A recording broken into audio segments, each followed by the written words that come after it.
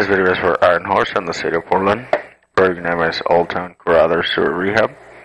We're sheet C18 off of Southwest 4th Avenue. We're setting 64.4 feet for the upstream manhole ABU 695.